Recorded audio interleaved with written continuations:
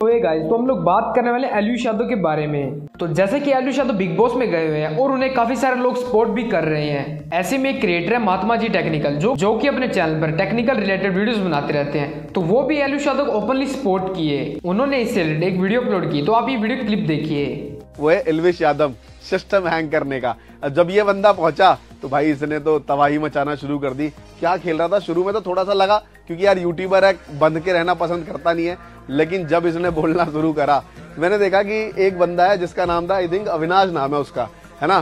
और भाई उसने इसकी जो ली ना, इसने अविनाश की। और मैं एक ही वीडियो देख रहा हूँ, ये सॉल्व बना रहा, तब समझ आया कि इसी की वजह से तो दिख रहा था। जैसे मैं अंदर देखता हूँ, पूजा भट्ट है। ज़्यादातर फ्लॉप एक्ट्रेस और जो एक्टर है, उन्हीं के इर्द गिर्द घूमते रहते हैं। उनको पता है कुछ बी सी ग्रेड में, उनको कुछ फ़िल्मों में कुछ रोल वोल मिल जाएगा। पर इन बंदों को तो पता है, भाई टाइम पास करने गए हैं, वहाँ से निकलेंगे, फिर सिस्टम हैंग करेंगे बाहर। मेरा खुद का एलवेश को जाएगा वोट मैं तो आ, मैं और मेरी पूरी टीम को उसी को कहूँगा वोट करने को।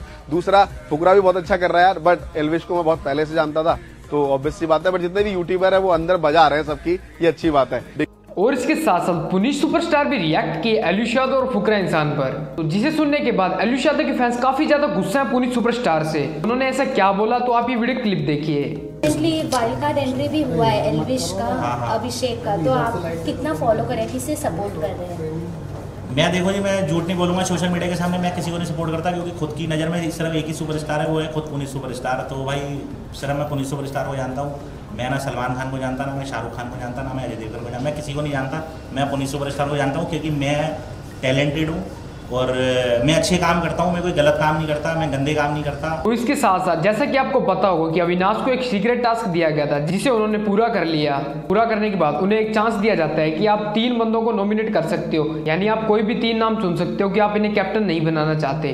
तो उसमें वो एलयू यादव का नाम चुन देते हैं। जिसके बाद अब आप एलयू यादव को कैप्टनसी में नहीं देख पाओगे। बाकी बिग बॉस के सीक्रेट टास्क पर आपकी क्या ओपिनियन है? कमेंट सेक्शन में ज़रूर बताएँ।